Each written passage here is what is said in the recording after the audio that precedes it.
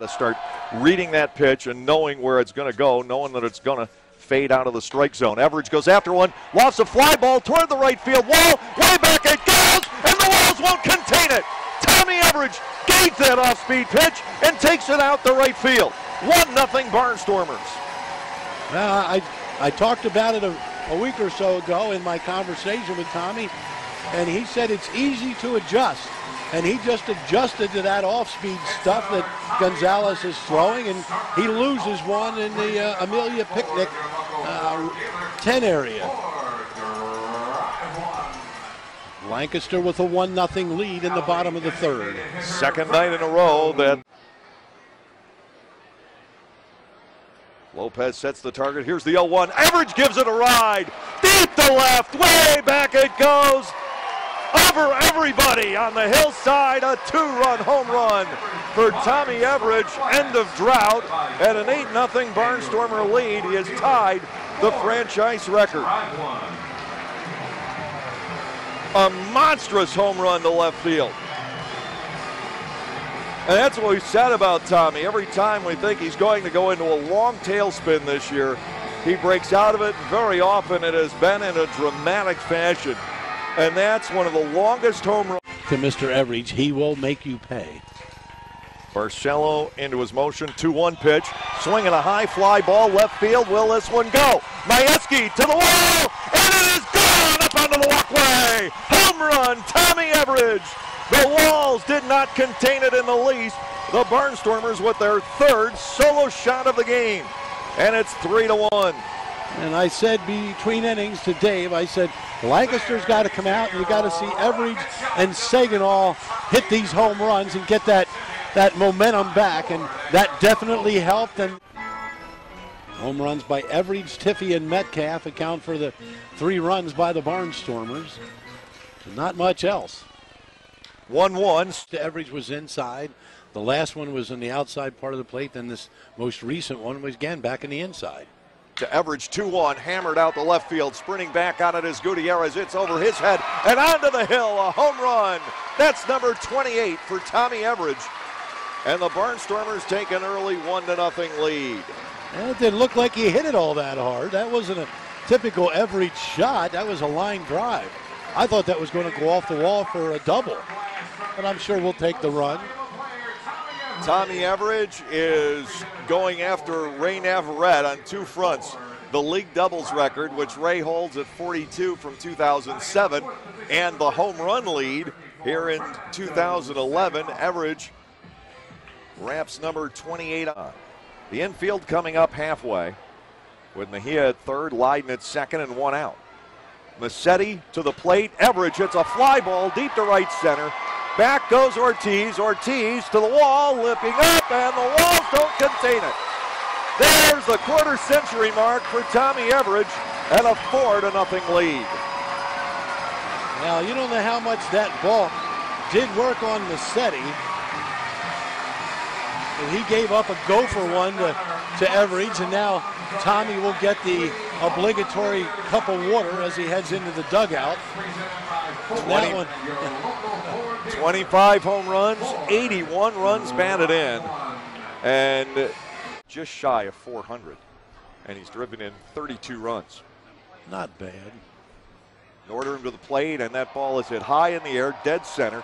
Adrian Ortiz chasing it back. That ball's got some legs on it, and it clears the batter's eye. A home run. Tommy Everidge with number 24 for the year, and the Barnstormers lead 6 to 2. Well, that oh, did that go? And it just kept going and going and going. A monster shot from Tommy Everidge presented by Ford. I'll tell you what, when that went off the bat, I thought it might have been a deep fly ball to center field, and Ortiz just kept running and running, and the ball didn't seem to want to come down. Now it's Fernando somewhere. Now Junior Novoa is loosening up to Everidge 0-1, hit in the air to right field, way back it goes. Heading back is Macias and looking up. The walls will not contain it. Home run, Tommy Everidge. and the Barnstormers are on the board. That is his 18th of the season. The shutout is broken up. I talked about shutouts. Bound to happen. Tommy Everidge hits the home run. We Every once in a while, it'll work when you're trying to make it work. We were talking be- Or so. Hold off second with two outs. Everidge swings and it's a fly ball right center field. This one's going to carry. Way, way back it goes, and the walls will not contain it. Make it nine for Everidge. A two run home run, and the Barnstormers lead 6 3.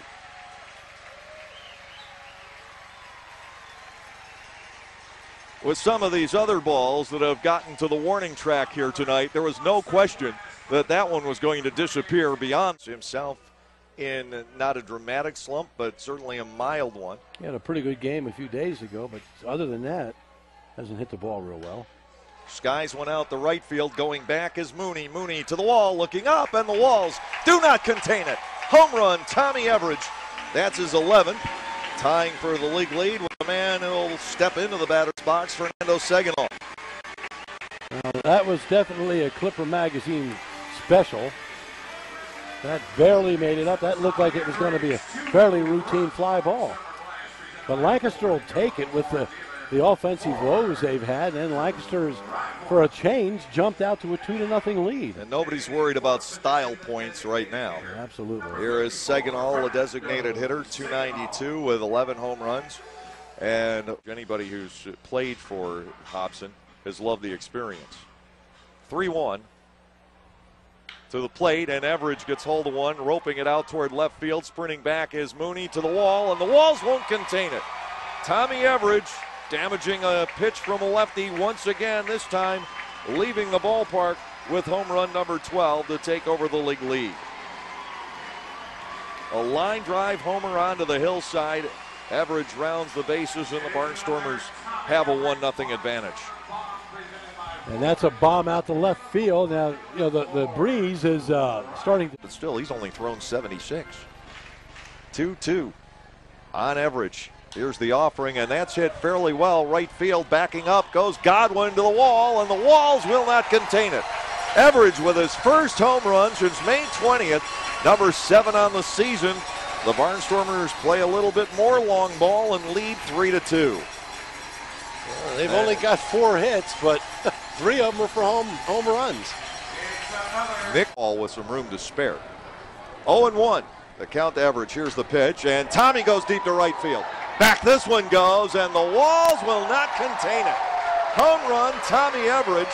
He had three of them up there in spring training. He's got this stadium down, and the Barnstormers now are up by the score of three to nothing. Guess we just have to say home run and they just hit him. Everidge, a guy who won a Cal League home run title earlier in his minor league career. If he stays in this ballpark any length of time, he's going to pile up some numbers.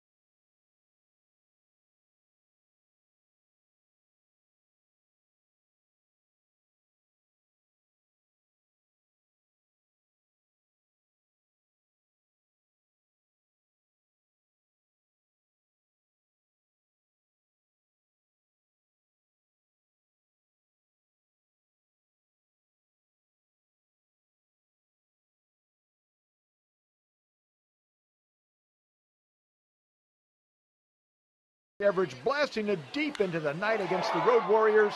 Lancaster leading 4 zip, but the Road Warriors come all the way back for a 5 4 win. Also, last night, the.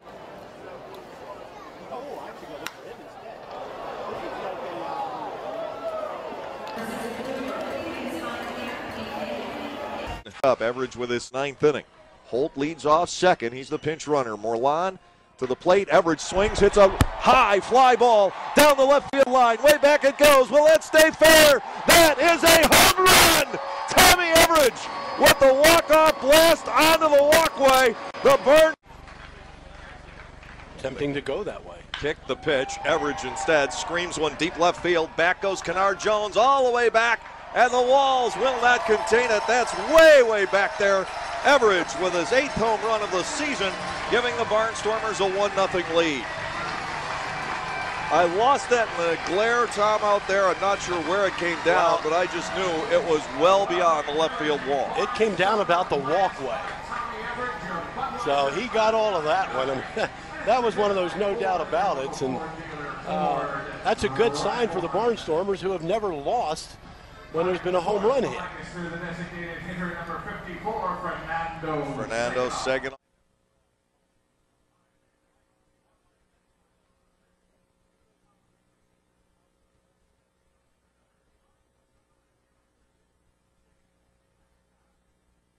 That's Durbin's one bad inning for the contest. Everidge awaits the 1 0 and hits a fly ball deep to right toward the corner. It's slicing, and the walls don't hold it in, but the foul pole does. A home run. It is 1 1.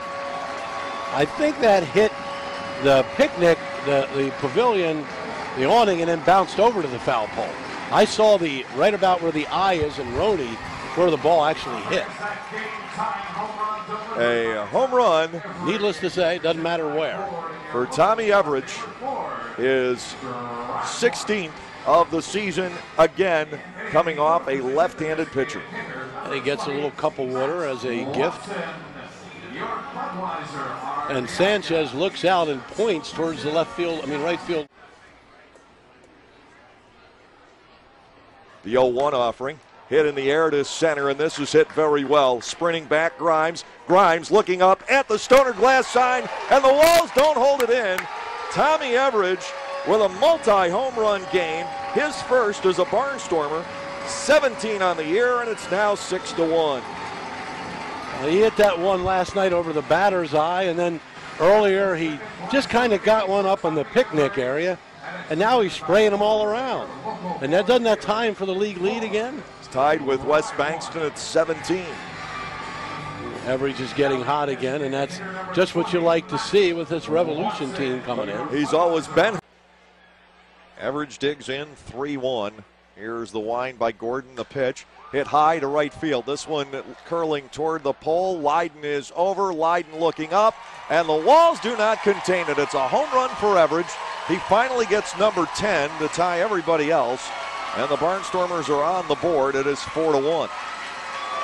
Um, just as uh, Clipper Magazine Stadium has taken away, they've just given one back. There's a Tommy Everidge Barnstormer blast. Presented Everidge joining by Ford. Seguignol and Tiffee Ford dealer, Ford. against the Bluefish. 3 2. Johnson to Everidge. The kick, the offering, a swing and a blast deep down the left field line. Way, way back it goes. And the walls th- do not contain it. The stadium barely contains it. Everidge with a home run, and the Barnstormers lead three to two. Oh, that my. landed about the same spot as his walk-off home run against Southern Maryland six days ago. Holy Toledo! Well, that's about where that ball landed. I was just It's about only- to say the same thing. Gee whiz.